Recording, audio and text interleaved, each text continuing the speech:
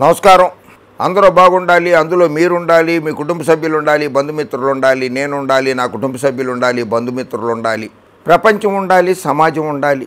అలాగే సినిమా హీరోలతో కానీ హీరోయిన్లతో కానీ మేము ప్రచారం చేయించుకునే స్థాయి స్తోమత మా దగ్గర లేదు. అందుకే నేను అంతటి నేనే మిమ్మల్ని అడుగుతున్నాను. సబ్స్క్రైబ్ చేయమని. దయచేసి మీరు చూస్తున్న యూట్యూబ్ ఛానల్ని సబ్స్క్రైబ్ చేయండి బంధుమిత్రులకి షేర్ చేయండి వారితో కూడా సబ్స్క్రైబ్ చేయించండి.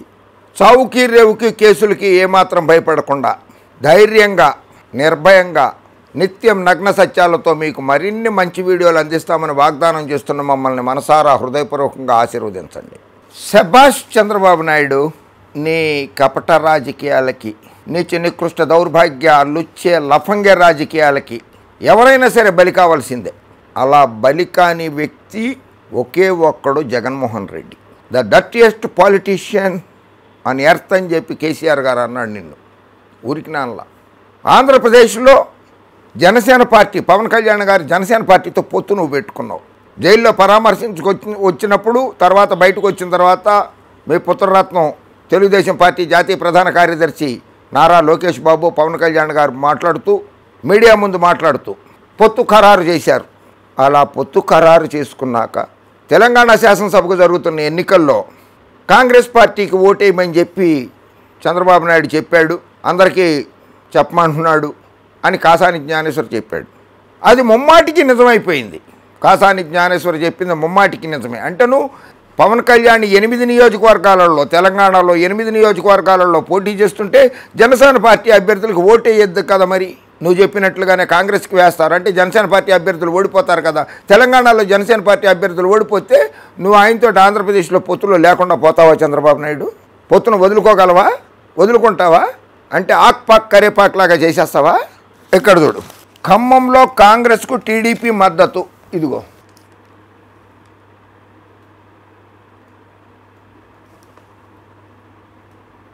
ఆత్మీయ సమావేశాలకు తుమ్మల బట్టి విక్రమార్క హాజరు. చూడండి ఇక్కడ. కాంగ్రెస్ తరఫున పోటీ చేస్తున్నారు ఇద్దరు. ఆ కండువ కాంగ్రెస్ కండువ దాని మీద పచ్చ కండువ. రెండు వేసుకున్నారు తుమ్మల నాగేశ్వరరావు గారు భట్టి గారు. పవన్ కళ్యాణ్ మోసం చేసినట్లా కాదా ఇది? చంద్రబాబు నాయుడు గారు మోసం చేశాడు కదా పవన్ కళ్యాణ్ ఖమ్మం జిల్లా ఖమ్మం జిల్లాలోని పలు నియోజకవర్గాల్లో కాంగ్రెస్ పార్టీ అభ్యర్థులకు టీడీపీ మద్దతు తెలిపింది. ఖమ్మం మధిర నియోజకవర్గాల్లో బుధవారం ఆ పార్టీ ఆత్మీయ సమావేశాలు నిర్వహించిన నాయకులు బహిరంగంగానే కాంగ్రెస్ అభ్యర్థులు తుమ్మల నాగేశ్వరరావు మల్లు బట్టి విక్రమార్కకు మద్దతు తెలిపారు. మిగతా నియోజకవర్గాల్లో కూడా కాంగ్రెస్కు మద్దతు తెలిపేందుకు టీడీపీ ఆత్మీయ సమావేశాలు ఏర్పాటు కానున్నాయి.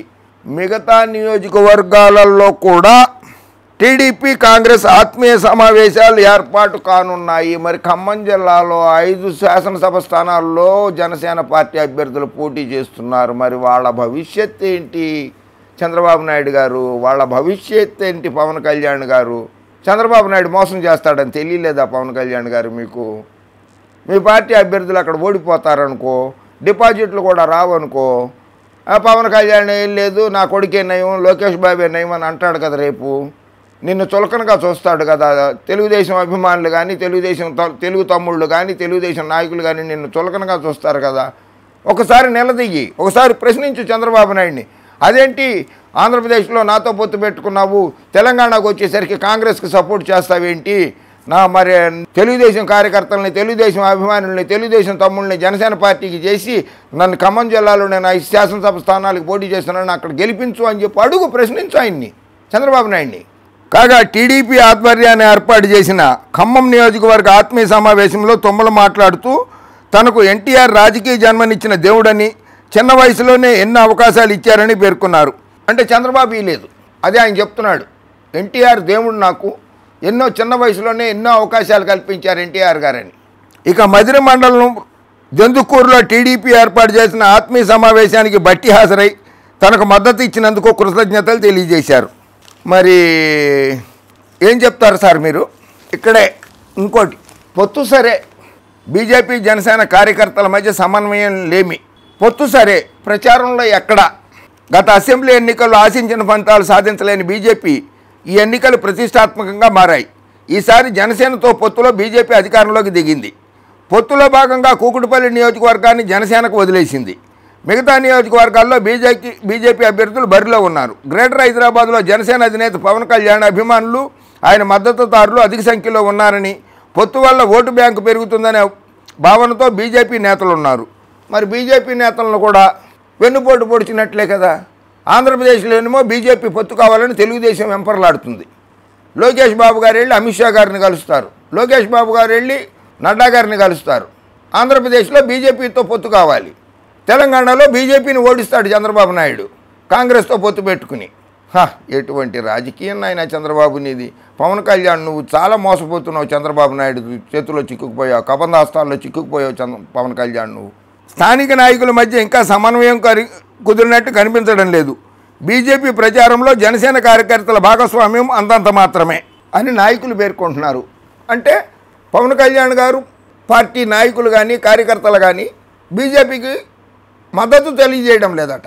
వాళ్ళు ఎలా తెలియజేస్తారు? ఆంధ్రాలో నువ్వు తెలుగుదేశం పార్టీతో పొత్తు పెట్టుకున్నావు ఇక్కడికి వచ్చి బీజేపీతో పెట్టుకోమంటున్నావు బీజేపీకి ఓట్లు ఇవ్వమంటున్నావు ఎలా వేస్తాం మేమని అడుగుతారు కదా వాళ్ళు కూడా.